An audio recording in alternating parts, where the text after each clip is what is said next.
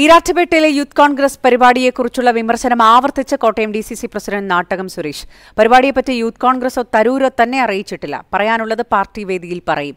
Youth കോൺഗ്രസിന് പരിപാടി നടത്തുന്നതിന് തടസ്സമില്ലെന്നും നാട്ടകം സുരേഷ്. യൂത്ത് കോൺഗ്രസ് ഞാനുമായിട്ട് ആലോചിച്ചിട്ടില്ല.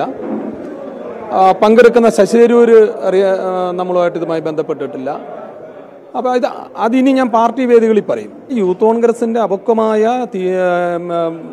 അവരുടെ നടപടികളെയാണ് നമ്മൾ എതിർത്തത്. അങ്ങനല്ലായിരുന്നു വേണ്ടത്.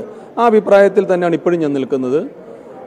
പക്ഷേ അതിന്റെ പേര് തർക്കത്തിലേക്ക് പോകാനില്ല അതിന് നീട്ടിക്കൊണ്ടു പോകാനില്ല. അത് പാർട്ടി വേദികളിൽ പറയേണ്ട വേദികളിൽ കൃത്യമായി ആ കാര്യങ്ങൾ പറയും.